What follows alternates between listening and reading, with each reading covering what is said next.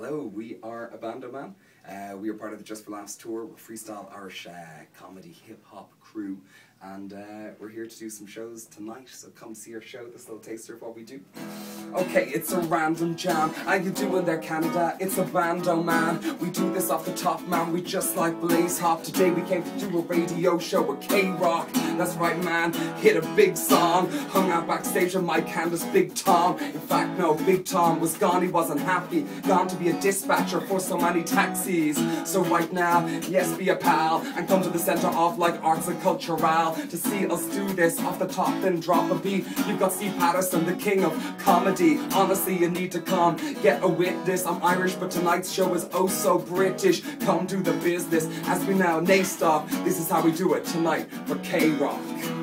Wow, thank you so much, guys. No.